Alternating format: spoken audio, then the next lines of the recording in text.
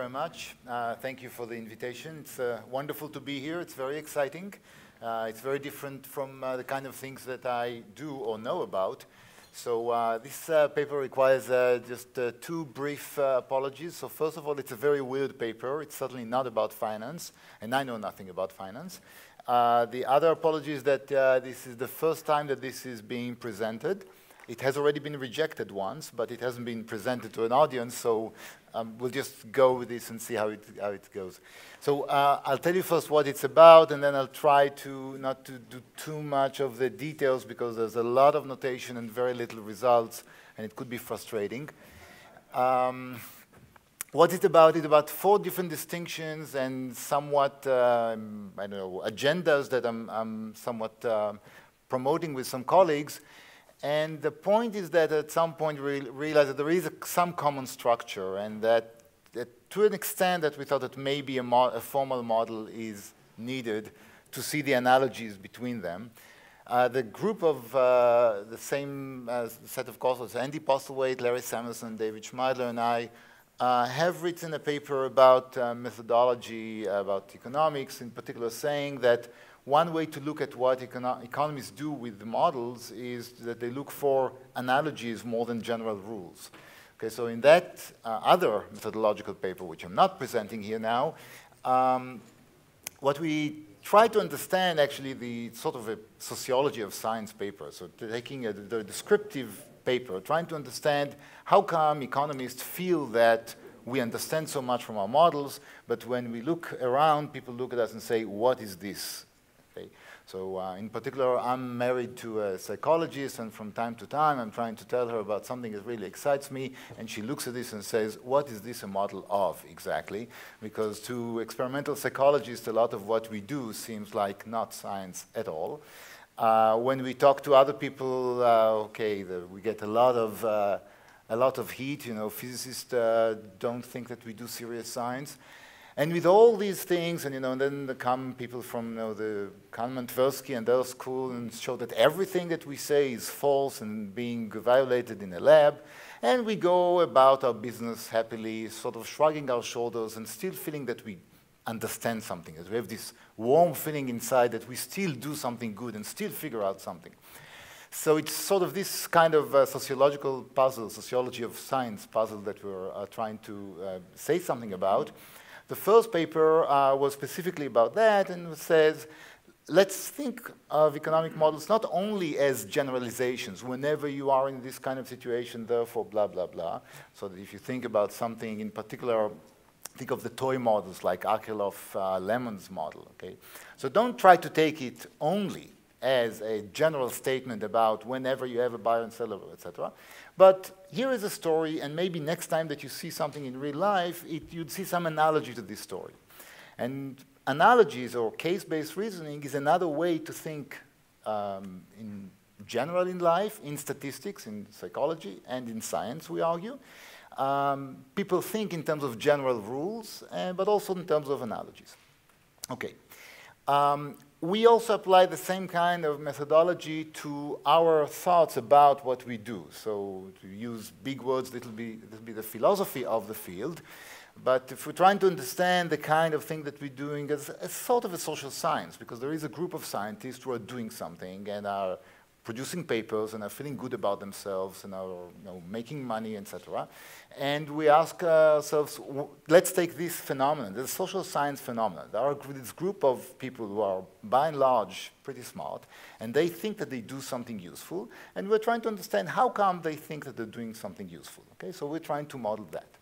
Now here, uh, in these four distinctions that I'll go over one by one, uh, when we started seeing that there is uh, some similarity between them, we thought, well, maybe this is what we typically do in economics. We write down a simple model that's not supposed to be a perfect model of any of these phenomena, but maybe just highlight the common aspect of what allowed you other the four phenomena. Okay? And the most relevant uh, to uh, this discussion, I think, would be the last one. But let me first start with the, uh, these uh, four distinctions. I'll allow myself to speak about them, and as, as I said, once we get into the formal model, I'm not sure you, you'll be very excited because when you start to put all of these things together in one model, I think invariably it's a cumbersome model. So we'll get to it. I'll show you something so that you won't be too frustrated for not having anything formal. But I warn you ahead of time that's going to be heavy on notation relative to what we have to say with that. Okay, uh, so let me start with the first thing. The first thing is whether the sort of distinction that for want of better name I would call theories and paradigm. I should warn ahead of time we're not using paradigm in the exact sense that Kuhn uh, used the term, uh, but more in the everyday usage that maybe people in our field are, are using them. Um, so basically, when we think about theories, we are thinking about concrete concepts, and we, most economists are brought up on the Popperian view that theories should be irrefutable, and we should be able to say something that can be tested, and if it is refuted, we, we have a problem. But at least we know that the theory used to be meaningful, uh, revealed preference as an example, things of that nature, and we believe that this is a guideline in, in economics so that you, you know, write a paper and if it doesn't have anything, theories observationally indistinguishable from something else, the referees are going to give you a hard time on that. On the other hand, some of the things that we call theories, and in particular I'm thinking about decision theory and game theory, are not so obvious uh, theories in this sense. Okay? And there is a feeling that you can do a lot in terms of the interpretation. Actually, the freedom of interpretation of concepts is what this talk is, is about. Um, so if I'm thinking about a decision problem under certainty, I'm using the term alternative. But alternative can be something concrete that we see now. It could be a stream of consumption. It could be many other things that we can put into the model in, say, behavioral economics. I'm talking about decision under uncertainty. There are such concepts as state of the world and outcome. So a state of the world is something that can happen, but um, I have some freedom in deciding what are the states in my model. Game theory adds a layer of uh, freedom there when I have to decide who is the player and what is the strategy and things of this nature. Um, so just to give a, a very simple example, is um, suppose that you're thinking about the US negotiating with Iran these days, and I'm asking you whether this, what you see is or is not in accordance with game theoretic predictions. Well, the answer is it depends. Okay, so if you think of the US as a player, or someone you have one analysis, and someone else would say, wait a minute, maybe you should separate. There's a president, there's Congress, there are at least two players. What you thought of is a choice of a strategy by a single player is actually an equilibrium outcome so there is some freedom in the way we use the concepts. This freedom can make uh, these, these so-called theories um, meaningless or irrefutable. Uh, and let me just go over a couple of, of classroom examples. Um, classroom in the sense that they show up in our classes. So, for instance, there is the ultimatum game, which is a very famous um, game, starting with uh, Werner Guth and the you know, I guess everyone knows the story. One player uh, splits, the other one says yes or no. Uh, and then often this is quoted as something that refutes um, game theory or something like that. Okay. Now, obviously, we can't refute game theory with a game as simple as that. Okay. And uh, what we teach our students is that we assign utilities to the outcomes after we observe choice, that the revealed preference paradigm. So, if a player chose this versus the other, then they evidently we have to assign to it a higher utility, so you cannot really refute the theory this way. Okay. Um, then what you do, you say, well, there are other things that, are, that matter here. Maybe it's a matter of pride, maybe it's a matter of reputation, maybe it's concern about equity, God knows what, but we could put them back in. So what we're basically doing is redefining the concept of a consequence or outcome. If the outcome was supposed to be that I'm going to have, say, 80 euros, then say, no, it's not 80 euros. It's 80, 80 euros with the knowledge that the other person okay, is going to get 20 or something like that. Um, so on the one hand, we could salvage game theory by saying, no, the outcomes are different from what you thought. The outcome is not just the amount of money. There are psychological and sociological factors that determine how desirable the outcome is. Once you put them in, there's no problem. But then sometimes you could get a question from a student who says, well, wait a minute, but is there anything that you cannot explain this way? Let's think about another example. Uh, framing effects, which Kahneman Tversky documented in their uh, famous experiments, show that people react to the way that the problem is presented. You tell um, even sophisticated decision makers a story with 70% probability of survival versus 30% probability of death, and it turns out it's not the same. I mean, the reactions is different, so that people react to the, the framing of, of the story, to the representation of the alternatives. But then you could stop and say, and I think the first time I heard it was from my uh, colleague Ehud Kalai at Northwestern at the time, say, well, wait a minute, that's not, not quite right, because suppose that I'm, let me I mean, his example, it's a, bit, a little bit unfair, but let me retell the example. I said, suppose I'm sitting with my doctor and my doctor says, look, there's 99% probability you're going to survive, versus my doctor says there's one probability, 1% probability that you're going to die. It feels different. Now, this example is not really fair because 99% and 1% are not real numbers. They're really manners of speech. Okay? But so if my doctor tells me there's 1% probability that you're not going to survive, I'm asking myself, why did she choose to talk about that? Maybe it reflects something else that's maybe not in the numbers. But even if I were to put real numbers, not meta metaphors, uh, there is some difference because the very fact that my doctor decided to use a certain representation is informative in and of itself. And that's what we teach our students, okay? We teach our students that everything should matter, including the channel by which you got the information. Okay, we have the three-door story that, you know, the Monty Hall paradox with, I guess everyone's, there used to be a TV game, uh, at least many years in the States, then I've seen it el elsewhere, that uh, you have a candidate that has to choose one of three doors, and then the moderator allows you to switch. Is this very, um, anyone has never seen that, or? whatever. Okay, so it, it's analyzed in various places. Uh, okay, I'll give another uh, tribute to, to, another Northwestern colleague. So at the time, we used to teach it in probability classes at Kellogg, and uh, I used to think it was just for fun. But uh, Roger Myerson, who was teaching the same class at the time, said, no, no, no, it's very important. And if you know Roger, you know that he, he's, he's very, he believes in, in, in, ideas. And he said, no, it's very important because they should learn that the way that you got information tells you something beyond the information itself, okay, which is a lot of what information economics is about. You ask yourself, even if the person is only truth-telling, not only what he said is the information, but the fact that he chose to say this and not something else. And the Grice principle in, in um, philosophy of language is a similar kind of thing, assuming that you're going to say the simplest thing that, uh, that is correct. So if you ask me if I'm going to be at the office, I'll say I'll be at the office from 4 on, then you realize I probably will not be at the office until 4 even though that's not what I said, but you do this Bayesian reasoning about what signal I received, what signal I could have received. You have to put some assumptions about the preferences of the other party. Is he on your side, and is it a coordination game or not? Okay? But we do teach our students that the channel by which we got information is informative. But this in some sense says that there is no such, no such thing as framing effects. Because if you take one of the classical examples of the classical successes of behavioral economics, the 401k example, where you change the default on a form and you find that people choose something else. Okay? So you could opt into a program or opt out. Well, of course, this is what you should be doing, okay? Because if I'm going through these pages and pages of a form and you ask me what should I do, I have some theory about other people who maybe have more time or more patience to this than I do. And I do want to free ride them cognitively. And I say, if this is the default, probably this is the standard in this, in this society. Okay? If I have to opt in or opt out from an organ donation program, I, I see what the default is. The default gives me a signal about what's the norm in that society. Okay? So it's not framing, because there are no two identical problems. There's real information conveyed to you by the representation.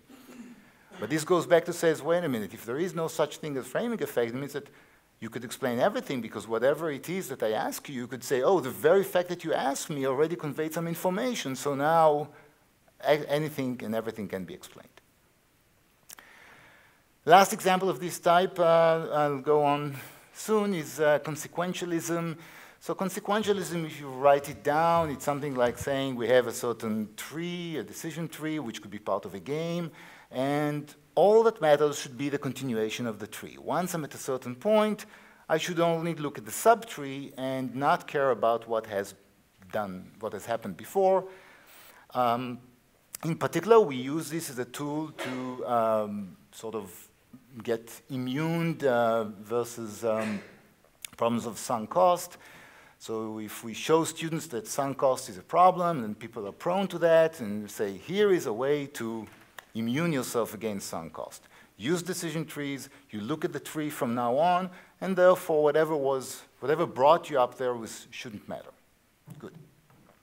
But if you push it a little bit too far, you'll find out that you'll never be grateful to anyone for anything, okay? So if I tell my students, um, next time you, okay, you're gonna meet me at some point, I'm gonna be old, you shouldn't feel any gratitude to your old professor because this is something that belongs to the past. Let bygones be bygones, right? So no, that's not exactly what we mean, okay? So if, uh, if I'm your professor really helped you a lot, one day, 30 years from now, you're going to meet me, I do expect you to be grateful, okay? Which is part of your payoff, is to be grateful to someone who helped you. But once I cross that line, once I'm allowing something of the path to be part of the outcome, then again, consequentialism becomes devoid of content. Okay? Because if I'm allowing the past or the path that brought me there to be part of the outcome as I do when I have guilt feelings or gratitude or whatever, then consequentialism is devoid of content also. Okay?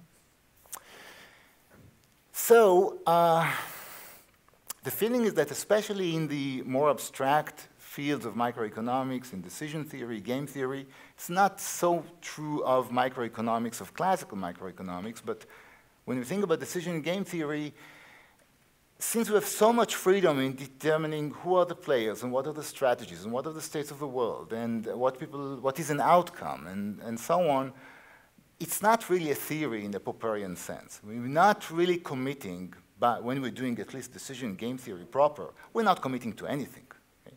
What we are providing is a certain framework to think about it.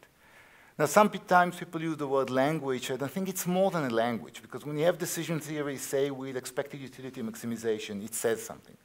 When you have the framework of game theory with Nash equilibria, it also says something. It's not only a language, it's a bit more, but it's, it still allows for a host of different interpretations in terms of what it is going to say. Um, and then, yes, this reminds me often of this uh, quote from Amos Tversky when, uh, evidently, it was a long time ago, uh, I was talking about how people react to um, claims that a certain theory doesn't work and that they can redefine things, etc. And then he told me, yes, theories are not refuted, they are embarrassed. It just becomes embarrassing to hold on to a given theory. And what I mean by uh, this in this context is that, yes, you could almost always revive it, but at some point the interpretation becomes embarrassing. Okay? Show me any result of an experiment, and if you want to see how, why it is consistent with expected utility maximization, I'll tell you, because the subject had this state of the world in their mind, in which if they don't do what they actually did, little green people from Mars are going to come and kidnap them. So I can always accommodate any kind of behavior with the standard notion, but at some point, you know, it'll be ridiculous. Okay? So it's not really whether the theory was, uh, there was a clear-cut refutation of the theory, but rather whether the kind of interpretation of the concept I need to, to have to make it hold become at some point embarrassing. Okay? So there's something about an informal judgment of what's a reasonable interpretation, what is not. And if I have to tell you that all these people in the lab were afraid of being kidnapped by aliens, at some point I'll just be embarrassed and shut up. Okay? Okay. Uh, so that's the first uh, distinction. Let me go, move on to the second. Um, so something that sort of bothers me for many years is what is rationality? Um, I remember, uh, embarrassing long time ago, uh, 25 years ago, um, I was at a conference uh, in decision theory, somewhere in the OR conference, and uh, Peter Fishburn uh, was there. So Peter Fishburn is uh, you know, an authority in decision theory. When I was a student, I studied by his books. And he was presenting there um, a model in which people might have cyclical preferences. Strict preference was cyclical, there was some, something else going on, some structure axioms, results. And at some point, he got a question from the audience about the rationality of all this story of why would people have cyclical preferences. And he responded somewhat annoyingly, saying, annoyingly said, there's nothing irrational about cyclical preferences. Now, this was a half an hour talk, and this was the great Peter Fishburn, so no one argued with him. But I went out of this asking myself, what does he mean when he said that there is nothing irrational about cyclical preferences? What do we mean by rationality? And um, the first notion that um, um, later on suggested with David Schmeidler in the, uh, in the book on case-based decision theory is that um, something is rational for, to a person, for a certain person, a decision is rational if by talking about it, by analyzing it, I cannot make you feel bad about the decision. I cannot embarrass you, or I cannot want you to change your mind or something like that. So it's a very subjective notion. Um, it's subjective it's going to be an empirical issue if I take this notion of rationality. So what I mean by transitivity is that if I see you going to make a decision that is, or I see that your decisions are cyclical and I show it to you, I believe that most people would feel bad about it, would feel bad about themselves, it would not fit their self-image or whatever, they might be embarrassed. I do lots of these things when I use Kahneman Tversky's examples in class to teach decision theory, and you see that people don't like this kind of thing. Some would argue with you, some would uh, say, okay, I've been stupid, and stuff like that. So um, you, there is some notion of unease that they feel. But it's not something I can see on behavior. I need to talk to the person to see how they feel and maybe give them a second chance later on, but I need something to converse with. Uh, it's going to vary from one subject to another. It's going to be very fuzzy. Uh, whether something is rational or not, I have to test empirically. I cannot just sit by the blackboard and write down that transitivity and completeness and continuity is rationality, period. I mean, I have to give up some of my authority as a theorist. Um, well, still, this definition of rationality is not also not monotonic in intelligence. And this is something that I discovered once the hard way. So I was trying to teach uh, Neumann Morgenstern uh, in class by getting the students to make the mistakes of Kahneman-Tversky or something, or Allais paradox. And after they made a mistake, to show them that they don't satisfy the axiom, and then say, aha, you want to satisfy the axiom, you have to be expected utility maximizer. So that was the plan of the class. But after I tricked them to make the wrong decision, I started to explain the axiom, and many of them just didn't get it. Okay, so I drew trees, and I showed that this tree is like that tree, and you can move here, and the probabilities, and I was jumping up and down and sweating all over, and it didn't work. They were just not convinced. Okay? I had to agree that by my definition, it was rational for them to behave, to violate the axiom. Or when I say non-monotonic in intelligence, I mean that I can have two decision makers who make the same decisions, and then I come to them and explain it to them. One of them is brilliant and sees the point and feels bad about it, and the other one is stupid and doesn't see any, the point. The brilliant one is irrational, and the stupid one is rational, according to my definition. Okay? Why am I still using this, this, this, this notion? Why do I think it's the right uh, notion, or notion with, with some some value. So first of all, I'm trying to adopt a more, I don't know what to call it, democratic, egalitarian approach. I don't view rationality as a medal of honor that we decision theorists bestow upon the decision makers. Okay? So rather, I think that uh, it should be something that facilitates the discourse between the decision maker and decision theorist, but I don't think that we hold the key to what rationality is. The way I view the situation in decision theory these days is that we have two fantastic bodies of literature. One is what I would call the rational choice paradigm, which consists of decision theory and game theory and Savage and Arrow and von Neumann and all these, this fantastic intellectual achievement of the 20th century. Uh, and on the other hand, there is what comes out from the psychology school of, uh, you know, the school of Kahneman Tversky, and this doesn't work, and that doesn't work, and uh, again, Amos Tversky famously said, give me the axiom, I'll design the experiment that violates it. And as we all know, it was not pure bragging. I mean, everything he did more or less come up with uh, an example for everything. And the question is, what do we do? What do we do when we see such a beautiful, nice theory on one hand and so many refutations on the other hand, well, uh, there are a couple of things to do. One thing to do is to run away and say, okay, I want to do something else. Let's do math. It used to be beautiful. It probably still is beautiful, and forget about the social sciences. They're too messy. Uh, but if we are in the business of, of the social sciences, then uh, grosso modo, there are two things that we can do. Either we can try to bring the theory closer to reality, which is what behavioral economics is trying to do. So if the theory doesn't work, let's change it so that it, it works. But we can do another thing that we cannot do in the natural sciences, and this is to bring reality closer to the theory. We could go to high school and start teaching kids how to think about these problems. We can try start teaching them what is probability and what statistics. Make them sensitive to some of these things.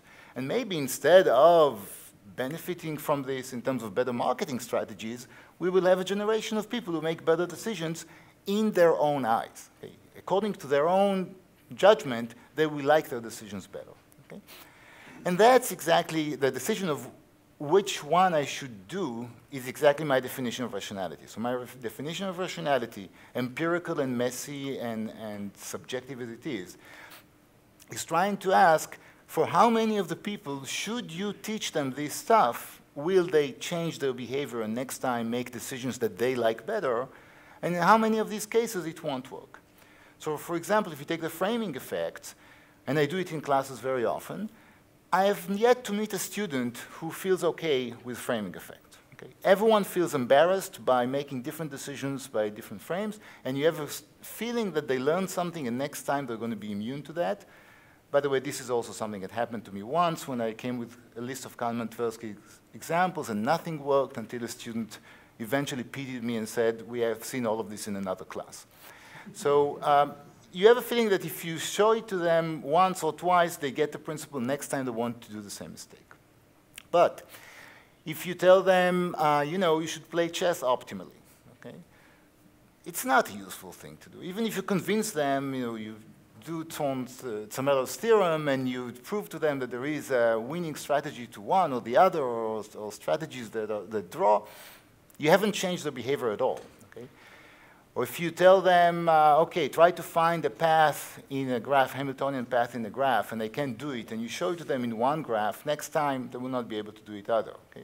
So if they're faced with problems that are computationally hard, they might even not be embarrassed because they could say, how could, I know, how could I have known that there is something else? I mean, there are myriads of possibilities. I could not have known, and I'm not going to do anything differently next time. With all due respect, and if it's not exactly the same graph or exactly the same chess position, Next time I'm faced with something like this, I'll be as irrational as I used to be. So you could call me irrational as long as you wish, but it's not going to change anything in my behavior. And that's the way I'm using the term rationality.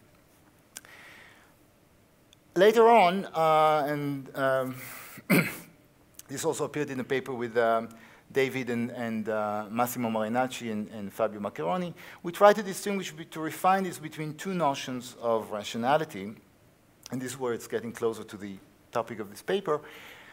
Um, so rationality is about rhetoric, it's about convincing people. In this sense, it's, it's getting close to things that Habermas uh, wrote about. The notion of rationality I'm trying to suggest is something that has to do with sort of robustness to a public discourse. But then if you think about it, there are different notions or different ways to look at it. And on two extremes, I would put the objective versus subjective rationality. Something is objectively rational if I can go and convince every reasonable person, quote unquote, that this is the right thing to do. So I'd say that today I think that I can convince every reasonable person that smoking is bad for you. Okay? I'm not saying I can convince you not to smoke, but at least I can tell you, look, evidence is such that you really need to do all kind of incredible mental acrobatics in order to argue that there is no proof for that. Okay? Uh, cell phones, I don't think that we know so much about. Yeah. Whether cell phones are or not uh, bad for us, the, I think that as far as I could tell, uh, this not so clear. So science, attempting to use statistics and objective evidence and so on, can prove certain things, certain hypotheses that null hypotheses can be uh, rejected, and that's what we expect to be objective knowledge. Okay, something that every reasonable person should admit that it's probably true, and the chance that we are, however you want to be Bayesian about it or not, you more or less accept this statement. Sub, I'm sorry. I know you said quite unquote reasonable. Oh, no, no, no, that's the, the, this is a completely, no, reasonable person would be anything that is not in an asylum. So as far as I know, so, no, no, thanks, I, I, but I think this is a, a very important point. So, I mean, I'm, i think you know this, this old joke about the guy who's driving down the I-95. Okay, so the guy is driving down the I-95, gets a phone, a phone call from his wife, says, John, be careful, there's a crazy guy dri driving in the wrong direction on I-95. He says, one crazy guy? So whether I'm in the driving uh, in the wrong direction or oral view is eventually determined only by power, okay? So when, if at some point people would come in with, uh, uh, during this talk, would chain me and take me to an asylum, I can keep yelling at you, no, but I'm rational and you should all be in asylum, but I'll be locked up. And as far as I, so I'm, I'm extremely subjectivist and I'm even solipsistic in this. I don't, I don't have any reference to an, a truth out there. Um, so irrespective of your philosophical position, I think in the social sciences, I think it's a healthy starting point to say that eventually majority is going to determine that, okay? So Habermas on this puts a bit more into this. He puts more democratic values than I would need for this definition let's say if I'm in North Korea right now and you take me away, then I'll be irrational and I'll, no matter what I believe when I'm in jail. So uh, you're asking what is reasonable or not. I'd say this is only something that's going to be determined by majority vote or power or something like that. I wish I had access to some truth which is beyond that. I don't, personally, I don't. Okay? But anyway, uh, I just want to focus right now on two, on these two extremes. So on objective rationality, I want something that I, I believe I can convince most people, in court of law, or something like this, I would convince you that every reasonable person would have acted this way. Uh, on subjective rationality, I allow you to do whatever you like, I just don't want you to be convinced that what you've done is wrong. Okay? So if you think about a doctor who is going to have some um, malpractice lawsuit, for subjective rationality, all you need to do is to say, this could have been justified. Given what I knew, given the evidence we had, this was a reasonable kind of thing to do, which is different from saying this is the only thing to do. Okay, so and as in this paper, what you typically expect is that subjective rationality would be a complete binary relation because of necessity. We need to make decisions, so we want it to be complete. We want the decision to be in the model, so we make it a, a complete. But the price of the completeness is that it's very subjective and tied to Bayesian analysis, Bayesian statistics. Objective rationality would tend to be incomplete because there are so many things that science doesn't quite know what the answer is, closer, closer to classical statistics like not being able to reject neither H naught nor its negation.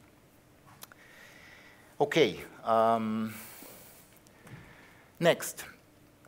What is decision theory good for?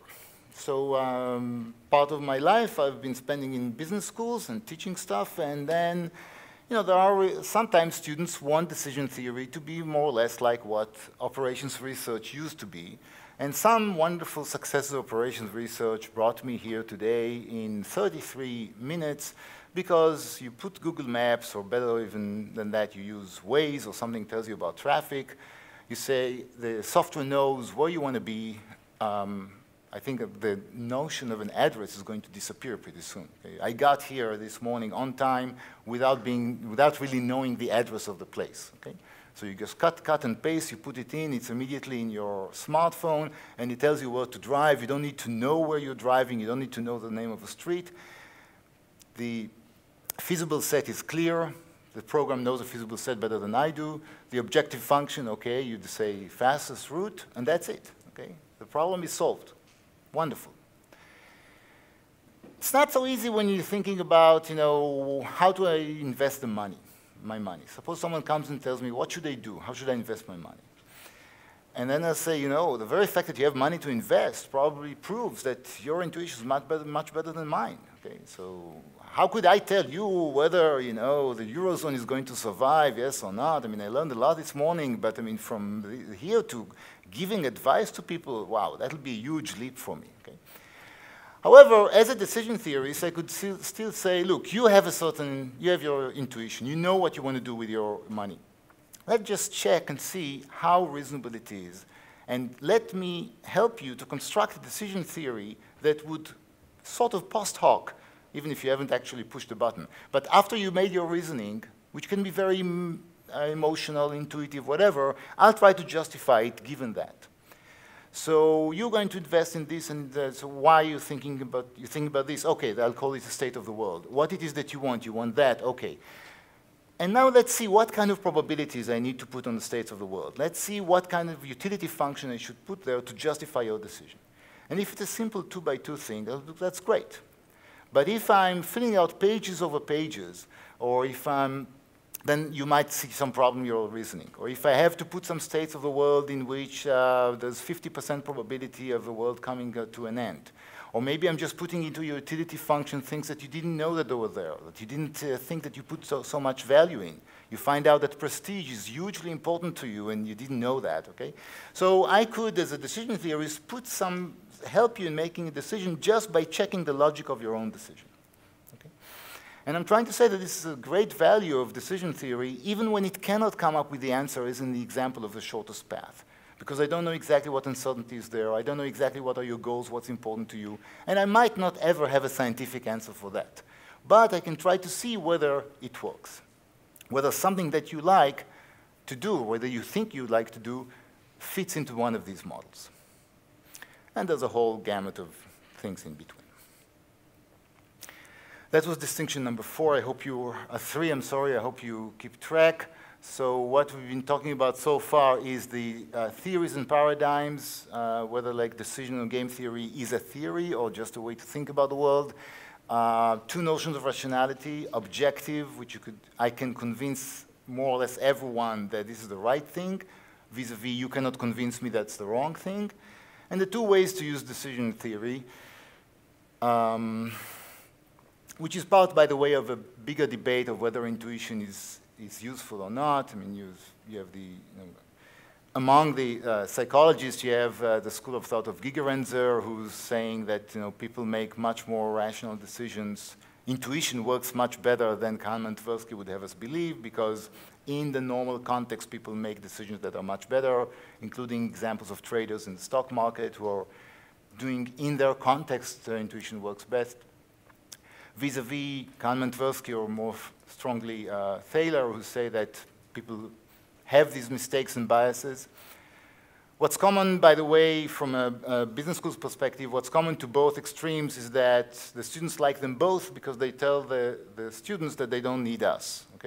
Either because intuition is perfect, as Gigerenzer says, and they don't need us, or the mistakes cannot be fixed, and again, they don't need us, okay? So part of what I'm trying to say in decision theory is sort of a survival battle.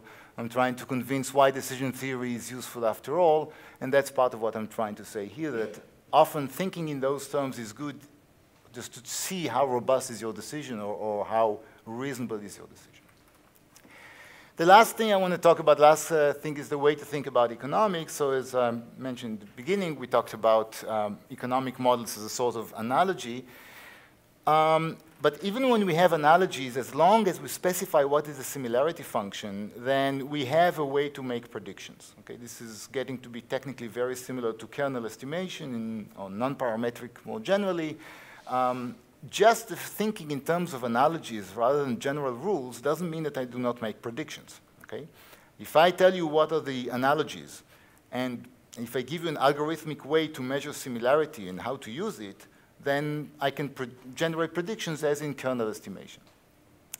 But I'm trying to say that there is yet another way to look at what we do in economics, which would be more relevant, less relevant to different fields. And this is just as a way of critique, of field of criticism. So what I mean by this is that there are statements that are being suggested, and people are saying things. Journalists, politicians have all kind of uh, policies in mind, all kind of reasoning. Our job might be, one possible job of economists, uh, finance people, is just to, to, sit there and see that what they're saying makes sense. Okay?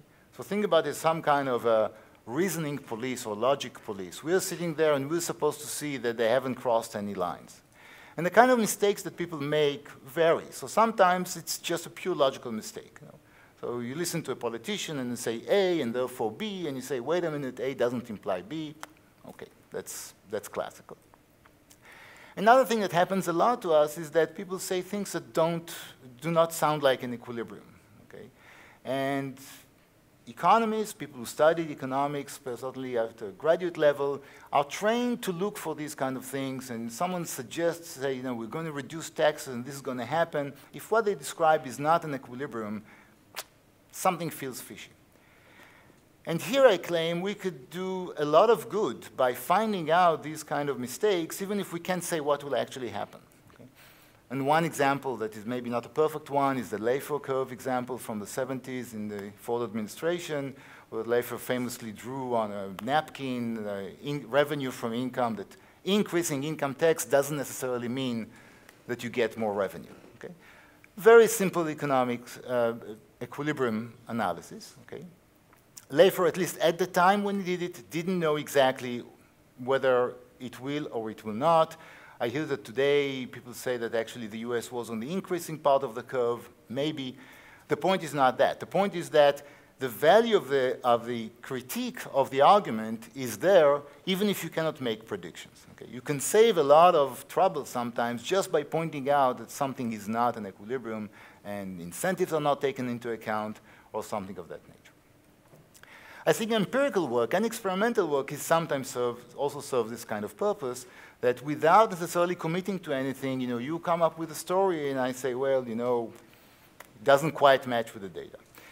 And here economists, and this is also something, you know, sort of classroom discussions when I, am teaching uh, kids who are not yet committed to economics. So with graduate students, we don't have so much problem. With the undergraduates that are still not quite committed to us, whether it's by indoctrination or selection bias, uh, that are before that.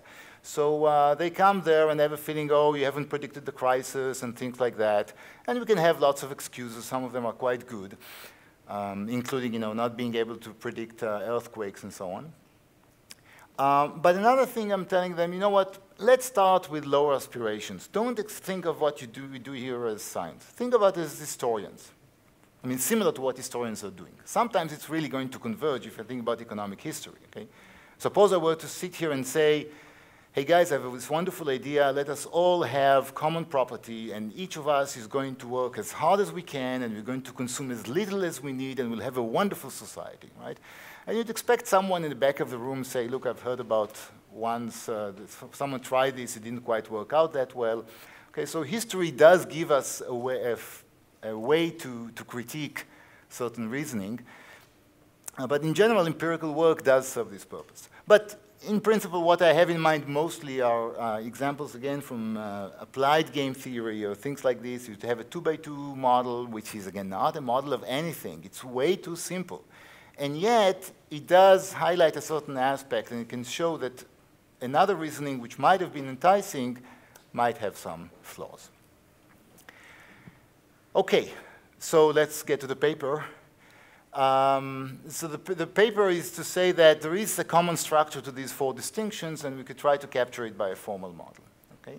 And then the formal model would capture, capture only part of each one of them, but would focus on the common thing. Um, okay, just to give a gist of the kind of formal model, why I'm saying this is it's going to be heavy. So if I'm thinking about decision theory, then I have uh, things like, okay, act A means that A is an act, and then I have some preference of this is a two-place predicate, this is a single-place predicate. And the theory, like transitivity, could be saying something like this. If you have these two statements, then you have that one. Okay, so that's, that's an example of what I mean by uh, theory.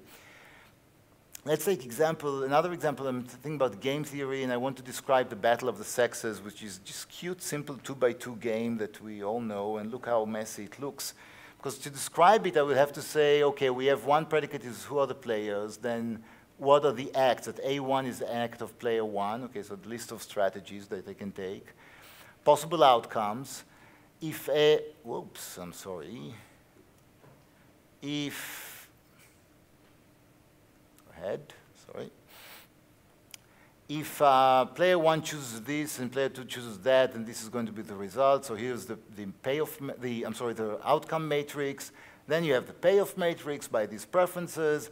And what I want to do is that to say the prediction of all these stories to say that one and four are equilibria, and these are the only pure equilibria. Okay? So this is just to give a gist of how complicated it is to talk about a model without saying what this model is about, whether it's about um, just a single player or a single decision maker or two. So more generally, um, to simplify notation, since we have lots of, um, an economic model we can have lots of different predicates, like what is a player, what is a strategy, what is growth, what is uh, an economy, and so on. Um, we find it easier to think about, uh, there is a set of entities which is just abstract set. Uh, a k-place predicate is going to say yes or no for um, um, k tuples. But it's more easier to define all the predicates on all the possible finite sequences. So I just take the union of all finite sequences, but I put a, sample, a special symbol to say this uh, isn't relevant. Okay?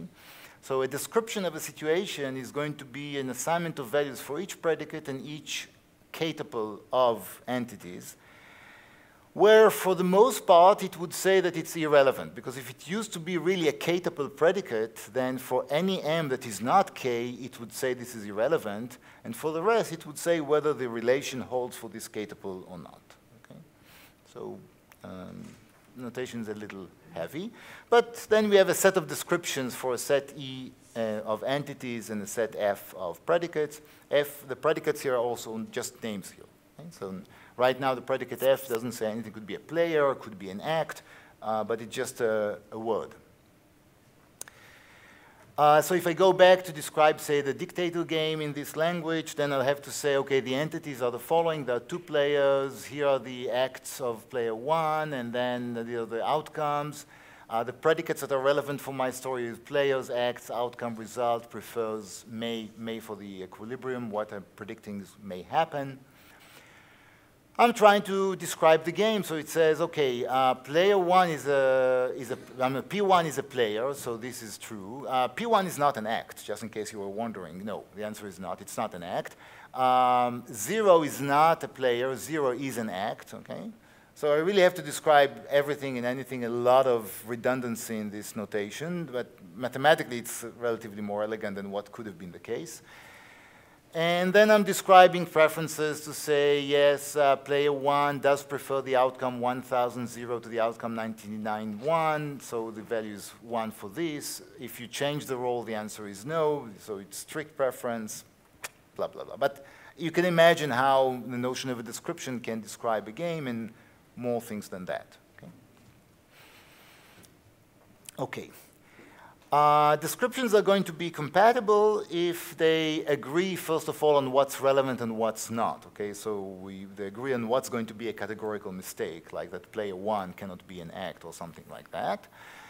Uh, and uh, whenever they give values that are meaningful, then if, if both of them give meaningful values, then they have to be the same. What I say uh, meaningful, I didn't say what I, uh, what's the star was.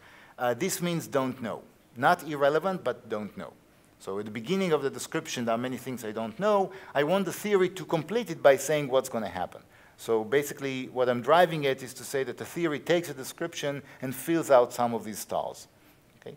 So I don't want the theory when, it's, uh, when I, I think of two things being compatible, I don't want to, to, you to change which, is, which are the relevant objects. But I'm requiring that these two things be the same if both of them are real values. Think of 0, 1. Uh, but if one of them is a star, it's okay. So star is compatible both with 0 and with 1. Okay, so this is what two descriptions are going to, be saying to be that are compatible. Uh, the notion of an extension says that, okay, two things are basically compatible. So they have the same the same predicates have the same number of, uh, of uh, variables. Uh, moreover, if I want to say that d prime is the extension, it is richer, so if d specifies a value which is not a star, a specific value, d prime has to agree with that value. Okay, so, but not necessarily the other way around, so it might be the case, what I wanted to be the case is that d would put some stars that d prime fills in with specific values, say 0 or 1. Okay, okay um, this structure of descriptions is going to work both for reality and for the representation. So the representation that we're going to have is something like um, player 1, player 2, etc. The, what I'm going to have on the reality side could be, you know, the US, Iran, or something like that. Okay, so on the reality side, I want you to think of entities that designate things that you read about in the newspaper, and in the um, representation, there'll be P1, P2, okay, objects inside the model. And the idea is going to be that we're going to look for a mapping here. Okay, so let me skip it. On, this is it's just messy, but it's, let me see what, it's, what the point is. Okay. The point is that when you do, when you construct a model, you take things in reality and you map them into things in your model. Like you say, the US is going to be player one, Iran's going to be player two.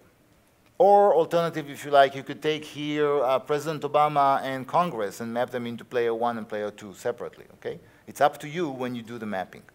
But you tell me which of the real life, the names that designate things in real life, map to things in your model. Then a theory is something that takes things inside the, the representation and extends it. Okay, so it, take, it says, if you have seen this kind of situation with these players and these preferences, that's what's going to happen. And then what we do is take it back and see, okay, what can we say about reality given the theory? What does the theory say about reality? So that's basically the act of modeling, finding a mapping, using the theory which lives here in the formal side, and mapping it back to see what it tells us about reality. Now, sometimes we have other things that go directly from one description to another in the real world. The simplest case would be an experiment or data. Okay? So without theory, I started with a certain description of what, what was there, and then I tell you what my observations were. In other cases, this could be the decision. I'll go back to the, the there are, but there are, there's a D, um, the moving from dr to dr double prime is something that happens without the theory. Okay, so the simplest case would be just observations we saw that this was the description of situation before we, we collected data, sorry. And dr double prime is after we collected data. And now to see if it is compatible with the theory, I'd ask you, okay, if you were to apply your wonderful theory, would you find the same? Okay, so if you were to model, take the notions here, model them in your um, model here. So I use the word. So you could generate phi, use this phi to generate a description, apply the theory, map it back. Let's see, are these two things together the same? Does the diagram commute? Okay. If the diagram commutes, then the theory has not been refuted. Everything is great. Okay. Or um, does the theory necessitate a certain prediction? So is it the case that when you go from here to there, you'll find a certain prediction? But here the point is that this phi is not unique. Okay, so some of the things I skipped were that informally we have some notion of what are reasonable mappings. Again, I'm not mapping, not trying to model what is reasonable. I take it as given. Okay, the kind of things that don't put me in an asylum defines the set of phis that I can use. And now there are two ways to complete it, actually a myriad of ways, but two extreme cases. One is universal quantifier, the, the other is existential quantifier. Okay? So if I want to ask you, does the theory say that from here I'm going to go down here, I can use strong necessitation that would say, is it the case that for every reasonable model phi you would end up with this? Or a weak necessitation that says, is it the case that there exists one that does the job? And this, I think, is the captures some of the, of the four distinctions that we had before. Okay? So if you, in many cases in science, you don't have so much freedom with this. Okay? So if I think about simple Newtonian physics and, physics and I ask you what would happen if I, um, okay, if I take this chair and I push it on this side. So you could have a prediction when you take the chair as one body, or someone else can say, wait a minute, there are a couple of bodies here because it has legs and it has a stand and I can decompose them and there are powers that are, there are certain forces that work between them. So you could say that even in simple Newtonian physics there is more than one phi. But luckily for Newtonian physicists, the prediction is going to be the same. Not much is going to change whether you analyze the chair as one body or whether you take it apart and you take into account the, the forces between them. Unfortunately for us, it's not so easy. We will get different predictions when we have different mappings. Whether you think about the US as, as the player or as the president as the player, you will think differently if the outcome is only monetary or the outcome includes some pride and other payoffs. Okay. Um, so that's, that's basically it. So the idea is was only to say that uh, these are just formalities, and as I told you, it's, it's messy and long. Uh, just to show that you could say something with it, there are two simple propositions about problems being NP hard. So if I give you a certain prediction, then uh, there are so many moving parts here that it's probably, it's not so difficult to prove that you could embed into it all kind of combinatorial problems. Uh, both weak necessity and strong necessity uh, turn out to be uh, complex problems. So there'll be some um, originality needed in order to tell whether uh, something is necessitated by the theory um, strongly or weakly. Both of them actually have too many combinatorial, uh, too much combinatorial freedom to have a simple algorithm solution. Uh, so the conclusion is only that uh, the distinction between strong and weak necessitation captures some of the, uh, the four distinctions. So if I'm thinking about a theory, ideally a theory is something that is unique, phi or more or less unique phi. Okay, so I'm thinking about what is a country and what is growth. Yes, sometimes you want, might want to split it, and we know of countries that want to split into uh, to more than one country exactly because consider of considerations of growth. But basically, we know what we're talking about. Okay, so we can measure growth this way or that way, but it's not. You don't have the same kind of freedom that you have that as compared to decision theory where you can decide what an outcome is or who is the player and what's the time horizon and you're much less committed. So refuting a theory is something that is um, relatively, uh, it's, it's, closer to the, um, so a theory necessitates something and in order to refute it, it's enough that have one mapping that doesn't do the job. It's harder to refute a paradigm or a conceptual framework because in order for me to show you that the conceptual framework survives, it's enough that I find out one mapping for which it works, such as saying, no, the outcome is not only monetary, the outcome also includes psychological payoffs or something like that. Is something objectively rational versus subjectively rational? So for objective rationality, I want every reasonable person, so I want every reasonable phi to give you the same kind of answer, and they would conclude that it's um, whatever, it's dangerous to smoke. I'm not saying you shouldn't, I'm just saying it's dangerous. Uh, subjective rationality only says it's enough for me to defend my decision to find one particular phi that defends my, my choice. Okay, so like if I can construct one model that shows that this is uh, what the theory suggests, say expected utility maximization, whatever, I'm fine with the subjective rationality. Uses of decision theory models, okay, this map this is very close to the previous one. So again, the classical examples of uh, operations research would be of every feat, objectively given, uh, any way you're going to map it, you're going to find the same solution. What's the right investment? Well, you have a lot of freedom there. Still, there's value in, in asking whether there exists such a phi, but it's a different question than asking whether it's true for all. And finally, the role of economics, where if you think about it as a standard science that generates predictions that are refutable, etc., it's closer to the view of physics that says, yes, if there is some freedom in your mapping of the phi, it's probably not so important, okay? Whether you use this or the other, where you, you should probably get the same answers. And then every refutation is a refutation.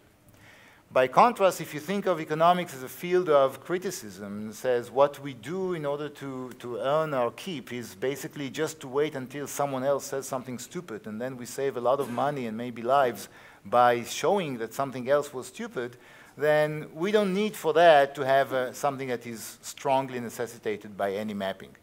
It's enough to say, look, what you've said is not even weakly necessitated, because no mapping that you could come up with justified this silly thing that you've just stated, and therefore you should better not do it. Um, okay, I should stop here. So.